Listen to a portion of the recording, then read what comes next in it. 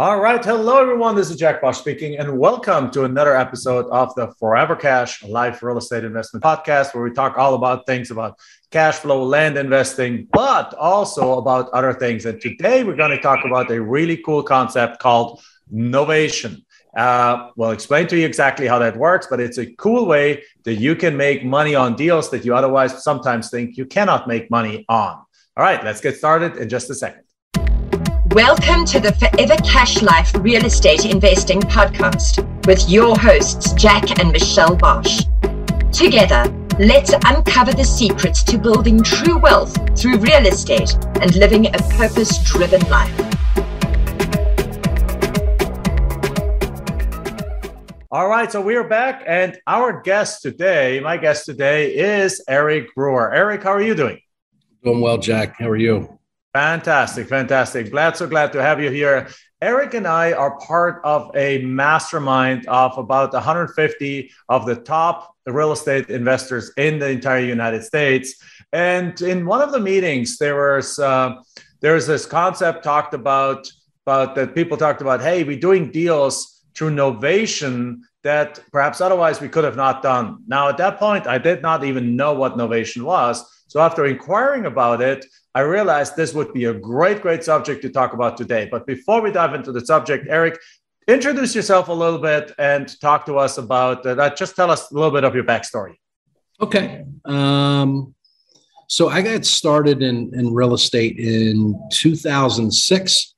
Um, early in my career, I was uh, originally fresh out of high school, was in the U.S. Army and served my time in the U.S. military. And um, after uh, getting out of the military, I came back to my hometown in central Pennsylvania in York, PA, and decided to apply for a job that I found in the newspaper um, at a car dealership for a lot attendant or a lot porter. I forget the exact name of it, but um, applied for a job there, went in, got hired. And um, long story short, is over two years, I worked my way up from a entry level sort of lot attendant position to sales and then eventually sales management and then stayed in the car business for about eight years.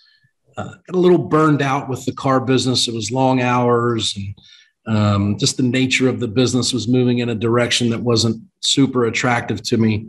And um, right around the time that i had my my, my oldest son um, i was like man i don't think i can be a great father and a, and a, and a great sales manager. And one of those has to to go and uh, the obvious choice was obviously the job, right? So I gave the job up and started searching for something new.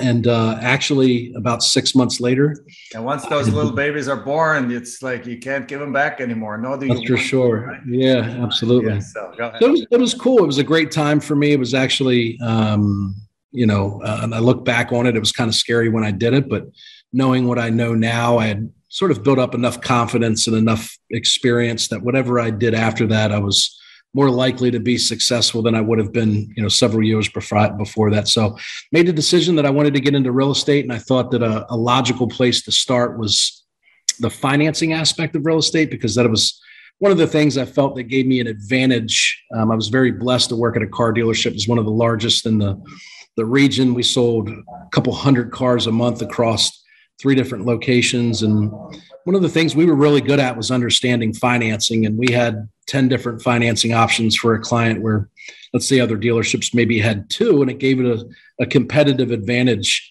Um, when people were considering where to buy their car. So um, I got trained on selling mortgages and um, was basically cold calling and doing refis in 2005, 2006. And uh, oddly enough, uh, my old boss that was the owner of the car dealership had sold the dealership and uh, tried being retired and it didn't he didn't enjoy retirement as much as he thought and uh, kind of dabbled in real estate a little bit and called me and said hey man I, i'm doing this thing like flipping houses and i think it could be big and and you and i worked pretty well together. What are you doing right now?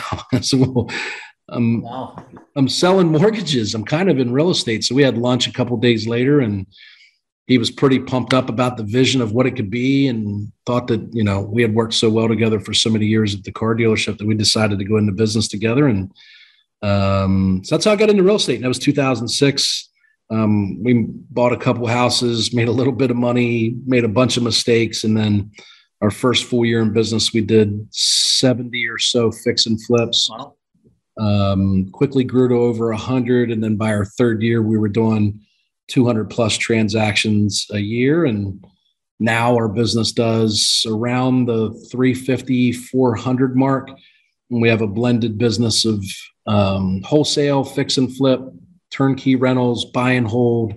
Um, and about 40% of that business is by way of novation, which I think you and I are going to dive into a little bit deeper here today. We are absolutely. And you also told me, we'll talk about that later on, that you're also getting into the build to rent space, right? And there might be some nice overlap with our students that do land flipping that uh, yeah. uh, could perhaps provide, find you some, some good land that you, that you can build houses on. We'll talk about that later on towards the end when we give out your contact information. So, right. Wow. That's 350, 400 deals. That is serious in the house industry. That's a serious, serious business. How big is your team for that?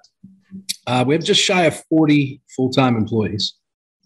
Wow! Congratulations! I mean, that's a that's a heavy lift there.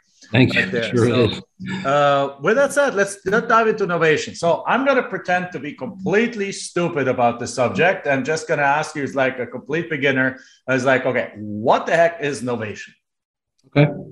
Um, so I like to give some context to to explain because a lot of people think that you know I invented novations or somehow dreamt this up, and it's certainly not the case. They they they have been around. The novation language um, in real estate law has been around for 200 years.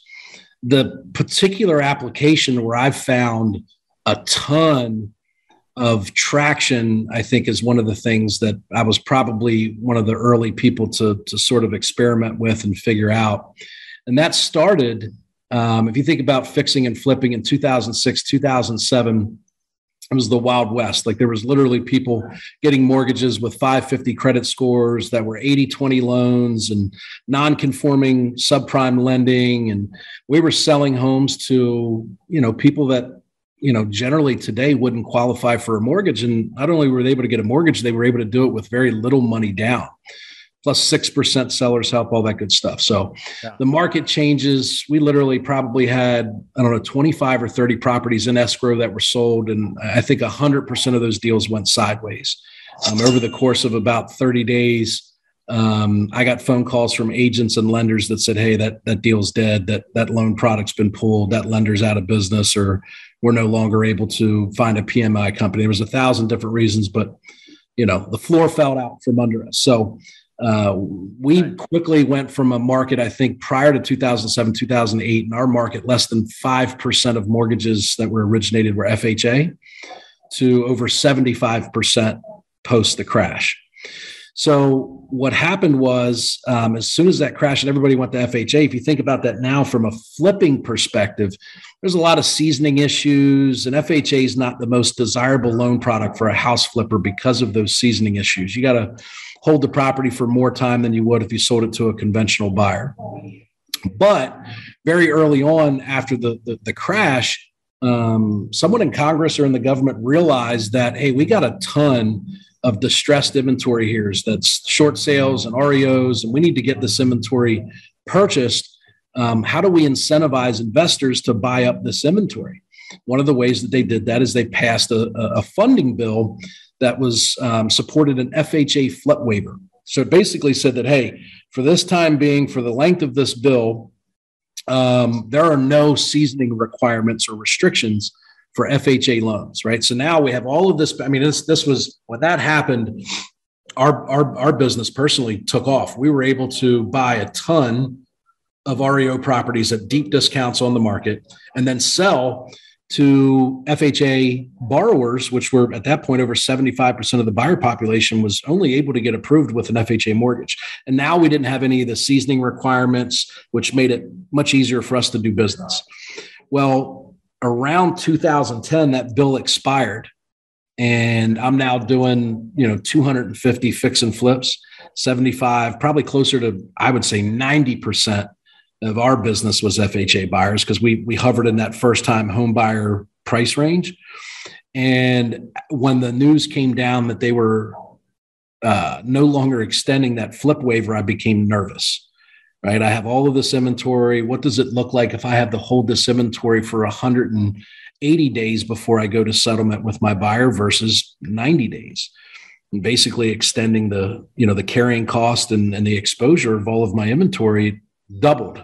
So um, sat down with my attorney and said, Hey, how, how do we rectify this? What do we change? Like, how, how do, how do I, in other words, at that point, uh, they, they, that waiver went away and you now went back to basically having to hold these properties that you buy for a certain amount of time 90 days before you can uh, resell them and and that's obviously holding costs that cost money because these properties are not free right yeah and and by the way you got to remember how you know uh, volatile the the values were back then right so it was more about like i'm buying a house today and arv's 200 it could be 180 in 180 days if i hold it right I could no, not have an appraisal concern right now because of comps. And over six months that I'm holding this property, even if I have it under contract with a buyer, there could be a number of comps that settle, whether it's a bank owned or distressed seller or short sale, that would impact my ability to be able to get appraised value. Right. So just generally made me very uneasy.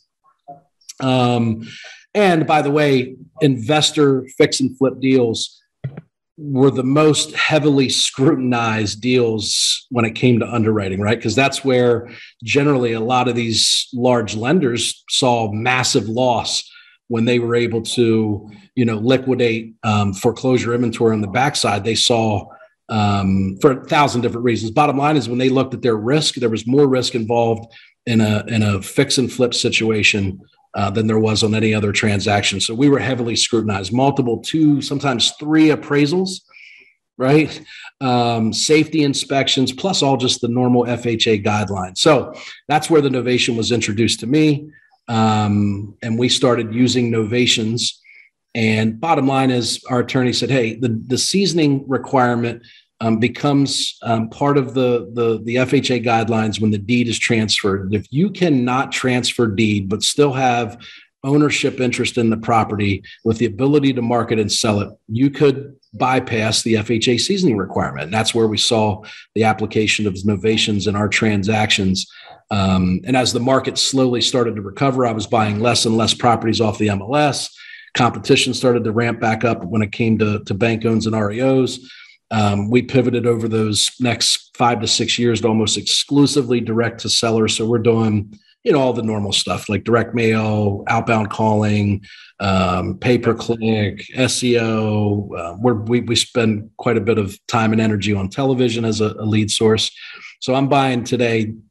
Probably 90% of all of my deals come off market, um, which means novations for us well, first, does, does, do you have any questions about the part that I just explained? I don't want to keep rambling on. It's no, easy. That, that, that, makes sense. I mean, you basically showed that that at some point of time, this this food source kind of ended, like this steel source ended, and uh, the legislature and the things made it more difficult. So that came to novation. But but now let's let's let's talk about what is novation. What happens when novation when when you do novation? What what does it even mean? Okay, so I think the best way to explain it, because nearly everybody understands an assignment, right? So an assignment is when you you put a property, a piece of land, a house, a storage facility, anything under contract, and that contract allows you to assign your interest in the property to a third party buyer for whatever you decide that to be. You can sell it for less money, more money, or whatever have right? But the general wholesaling practice is we we acquire property by way of a purchase agreement for fifty thousand dollars. We find a qualified buyer that'll pay us sixty, and we assign that contract and collect a ten thousand dollar assignment fee. Right? Novation, the actual word I think in Latin is new. Right? It means newer replacement. So we're not assigning our contract we're actually replacing our contract. So you can't have two enforceable contracts in play at one time, right? There's one that takes precedence over the other based on the day that it was signed or, or something about only one of those enforceable. So basically, if I get a contract on a property for a hundred, I market and sell that property to this is the key, a finance the buyer FHA, VA, Fannie, Freddie, any conventional lending product that's not hard money or an investor loan, An assignment is a is not a financeable transaction, right? They will not lend or insure uh, an assignment. It's not considered an arm's length transaction. They will not lend on it. The novation is a lendable transaction. So, where most people, whether it's land or houses, when they wholesale, they buy it wholesale and then they sell at wholesale, right? right? Unless they're fixing and flipping it. But generally, what we do is we sell to another cash investor that was willing to pay us more than what we what I we usually pay. say you buy super cheap and you sell cheap. Correct. Here with a novation, you can buy super cheap and sell at retail to a financed buyer. Because if you think about today's market, um, there's obviously a ton of investor activity, but the people that pay most in any market that you're in is a financed owner occupant. So as a investor, when you acquire at super cheap, you can exit at not so cheap, right? So, so finance, so finance and uh, retail buyer is basically Jim and John Smith uh, or Jim and Susie Smith, and they are having a loan, they're getting they're pre-approved, they're getting a loan from FHA or from their from somewhere like that. Yes, and they pick this property and the market value is 400 and they're willing to pay 400 or even 420 whatever it is and uh, yeah. in this market right now yeah. And and so they're going and they're getting approved for the loan right yes okay so that's that's one way, right? Where we're already buying at a discount, but we can exit at retail. So just imagine for a second if one out of every five deals that you do, which is on on average what we see with with folks that that implement novations, they're able to take it from a buy super cheap, sell cheap to buy super cheap, sell retail, right? So now you got in most cases double the margin is what we see, right? The other, I think, bigger picture is you know, if you think about the offers that we make on on average, we might close 10 to 20% of the clients that we make offers to that are qualified sellers. Out of the 90%, let's say, that say no to our offer, oftentimes we find that price is the only objection. They like most of what we have to say. They prefer the convenience of, of dealing with someone like us, and they're willing to sell and at a discount, but not at a deep enough discount to where it's super cheap. But maybe they'll sell it cheap, right? So let's imagine for a second in your analogy, they would sell it to us to what our investor would pay, maybe a little bit more. Well, that deal doesn't work for us because I can't make money wholesaling that. But I can write it up a hair above cheap and now convert that to a profitable transaction because I'm exiting it to a retail buyer.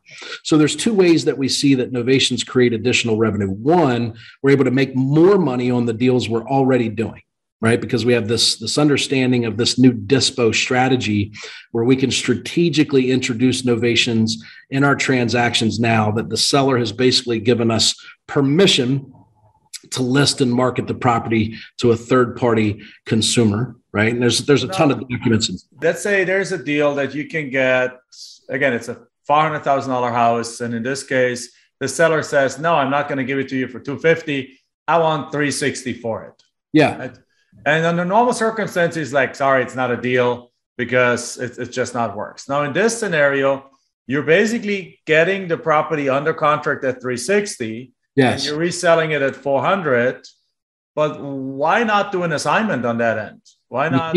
It's not a lendable transaction. You can't. You can't. You can't sell an assignment to an FHA borrower or a Fannie or you can't. Okay, so the buyer if the buyer brings the sale, the purchase agreement in form of an assignment to his bank, the bank said, "Sorry, I can't finance that thing." All right. It's not going to happen. So in this case, what a novation does, it's a document where you what, cancel. What, does, you cancel. Remember, it's replacement or new. So you effectively okay. cancel your purchase agreement. Okay, you cancel my purchase agreement, and then sell it to the now you have an A to C agreement. So there's a new purchase agreement before the original seller and the new buyer. Oh, okay. and the novation so addendum says the novation addendum says there's a conditional release of that original agreement in lieu of this third party agreement. It effectively says that you know me and Jack had an as is, no inspections, no commissions deal, and this new contract has all of that at a higher price. So I, in the addendum, absorb all of the additional obligations and any additional net proceeds.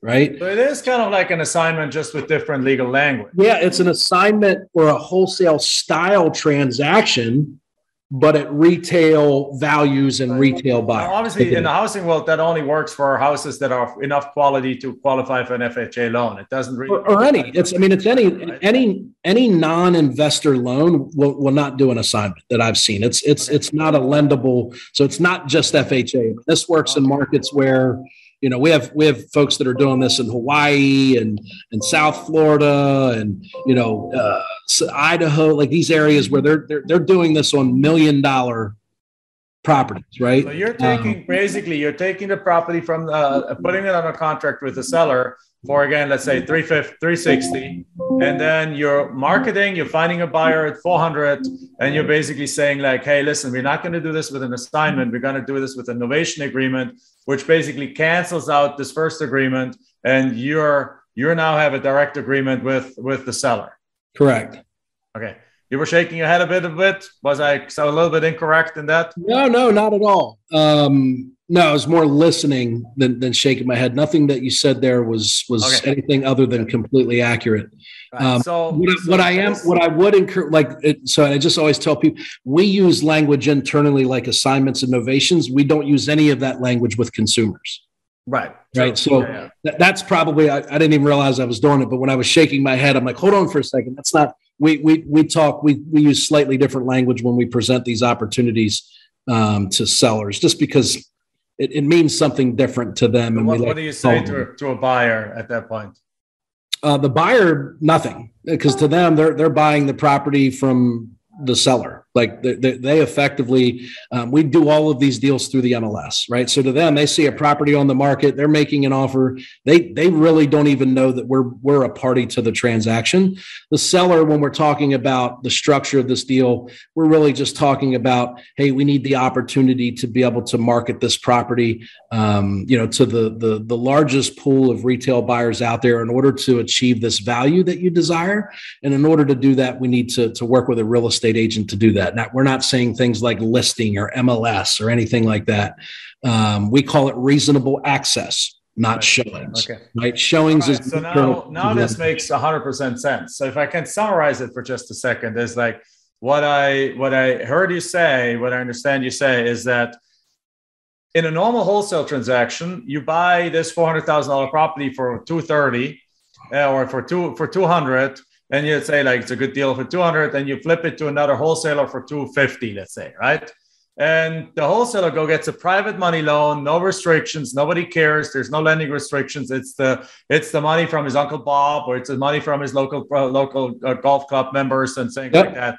They don't care they just buy that thing he rehabs he fixes it then he goes sells it and the buyer just gets a new loan. With this this model does not work when when you, when, when when the margin is thinner or uh, when when people just want more money because right. you would have to bring up all the money to buy that thing and just the cost of that would just destroy the deal. Right? correct. So in this case what you do is you put them but if you put them on a contract an assignment doesn't work because your your buyer cannot get a loan based on an assignment. Correct. The finance buyer is not able to right? yeah. Yes you're correct. The finance buyer is not able to execute on that agreement um, by way of an assignment. Wonderful, great. So uh, now what Novation does is it allows you to put it under contract, have a novation agreement with the buyer, or put that in as an addendum, uh, and therefore now you step out of the deal. Uh, the buyer has a direct deal, but through the assignment, uh, to the addendum, you still get paid in the process. Right. Right. Wonderful. That now brings me to the point of our a large majority or a lot of our listeners are land flippers. So with that means that and a lot of the land that you that is out there is actually free and clear. It doesn't even have mortgages. Not every land seller is willing to give you the 60, 70, 80% discounts that we're used to. But so this is totally applicable to this because you can take somebody has a $500,000 piece of land, you're making a $250,000 offer, they don't accept it, they want 400 for it. You can take that exact same deal and then flip it to somebody else that's willing to pay full market value or 450 uh, but needs financing and also use the novation agreement to make that process happen right? Correct. Absolutely. Right. Yeah so it's it's applicable in any investment or any asset that that i've ever seen where the bulk of which is pretty standard the opportunities that we get are not converted because of price, right? So we reach a point to where negotiations have fully exhausted their flexibility on price but now they're willing to be flexible maybe on some other terms. Maybe that's for us on a house it's reasonable access and time where initially our conversations were say you know 14 day closes and but their pricing expectations were high and we're asking for reasonable access to be able to show it to qualified buyers and 90 business days in order for us to have the time that we need to be able to um, you know market locate and negotiate with that end buyer and for their mortgage to, to process to be facilitated any asset that you have where the bulk of your consumers are saying no because of price the implementation of novations will allow you to convert a fair portion of those people that are more price conscientious than they are term conscientious. Absolutely. And that's where, again, this comes in as an absolute valid strategy for our land flippers because that is a situation we come across every single day. Uh, in our, I mean, like like with you guys, we we might close one out of 25, 20 to 30 offers we make Sure. So right here, some of them it's not worth it. It's not worth doing that for a ten thousand dollar property, but it's but particularly on the higher end uh, of the deals uh, where people are buying at higher rates too. This can be a very low risk uh, or no risk really way because uh, with novation, the structure of the initial agreement doesn't change, right? Like you don't you don't have to put all of a sudden more as an escrow deposit or any escrow deposit and so on, right? No. Yeah, we generally, unless it's a a big sticking point for the seller, which we're perfectly fine. But out of the 400 transactions or so that we'll facilitate this year, we'll probably put an earnest money deposit on less than 10% of those because it's not, it's generally, we, we have a history of performing and, you know, so um, we, we generally have minimal fallout. But yeah, our, our, our, our deals are most often structured with no earnest money deposit. All right. And, and and same here. It's like it's extremely rare that somebody puts an earnest money deposit down. So this doesn't change really nothing changes but now it gives our it gives you another outlet to sell those properties because it allows the buyer to actually get financed. Now i got it. That's that's that's the key thing. Well when you think about it too right? Like generally if you're buying super cheap and selling super cheap we're, we're dealing with one niche of the potential buyer pool. Where we see the biggest opportunity with novations in housing is at the higher end price points right? So like the investor activity this may be the same for land. It's like if I get a acre of land that's you know I can sell for under fifty thousand dollars, I have a thousand buyers I can sell that to. Well, when it goes to a million bucks, that list gets a lot shorter, right? Well, we see the same thing in housing, right? Where like most of the investor activity at above three hundred thousand dollars in our market it's it's far less than it is at $150,000.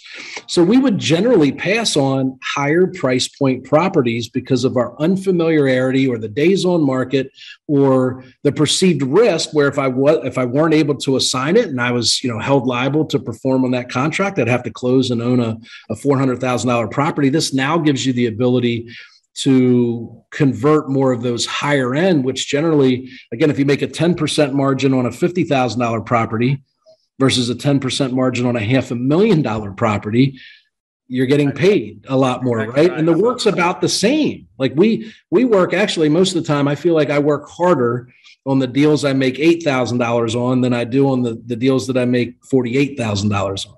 Right. Yeah. No, same um, here. So yeah, hundred percent. And it's the same thing. I mean, even in our in our model, the higher the value, the higher the offer we make. So we're already going to like 40, 50, 60%, 40, 50% offers on multi hundred thousand dollar properties. But now with this, you can potentially even go, particularly if it's an infill lot situation where you can finance it, because one of the things in land is you often don't get bank financing anyway. Right. So it's kind of like a mute point. But on areas where you can get bank financing, on areas where you can get a loan uh, to, to a construction loan or something to build a house, that definitely plays a role. All right. Yeah. Well, wonderful. That is that is awesome. So I hope we just introduced to many of our watchers and listeners a new concept called novation right? That allows you to literally to pass on a deal to somebody else where they're basically truly stepping in your position, have a full contract with the seller, and that makes that financeable, and that allows you to actually take properties that otherwise you could not sell at retail uh, to go and put them out on retail on a retail market and and, and, and so on. So super excited with that. So now at the beginning, before we went live, you talk, I asked you like, well, Eric, how can we help you here with our community? And you mentioned that you're looking to build a whole bunch of built to rent houses and you need some land. Well, Eric, tell us where you're looking for land, and our community, I'm sure, is gonna gonna jump in and, and contact you, and then of course also tell us your contact information so sure. the community can reach out to you and see how they can help you find some land here. So, generally speaking, right now, um, within two hours of South Central Pennsylvania. So, if you think of Harrisburg's probably the most notable um, location. That's 20 minutes from my office. Um, an hour and a half um, within any anywhere of Harrisburg. Um, we generally are building one of a couple models. Um, lots are, are, preferred, easiest to convert, where we're building either single family or duplexes built to rent. Um, but we're also um, in a position and able to convert larger parcels of land that could be taken through the entitlement phase. And we're doing one now where we have um, the ability to build 11 homes on, uh, I think it's about a 12 acre parcel of land that we bought from a, um, an investor that had, had, locked up that, that, that opportunity and brought it to us. And then we have the ability through some partnerships to build large uh, multifamily communities. So I would say, like, literally, um, anything that can be built on within an hour and a half to two hour range um, of Harrisburg, Pennsylvania, is something that would be of um, significant interest. All right. And how do people get a hold of you? Um, I'm on Facebook. I'm on Instagram. I'm on TikTok. Um, you can look me up um, on Instagram. It's Eric Brewer underscore invest. Um, just search for Eric Brewer on Facebook. Jack and I, I believe are friends on Facebook. So if yep. you're friends with Jack, you should be able to find me pretty easily. Um, that's the best way to, to get a hold of me is to, to track me down on social media. And then I'm pretty responsive to, you know, direct messages and stuff like that. Awesome. Well, wonderful. Well, thank you very much for being here and enlightening us about the concept of uh, of, of Novation. Also, congratulations to your humongous success here with 400 deals um, a, a, year. And uh, with that said, I mean, that's really concludes our session here. Thank you for making making time for us. So with that said, guys, everyone, if you enjoyed that, please share it. Please give us five stars. Please invite other people to follow us. The more people we have on our podcast, the more impact we can make on here. All right. So with that said, thank you very much.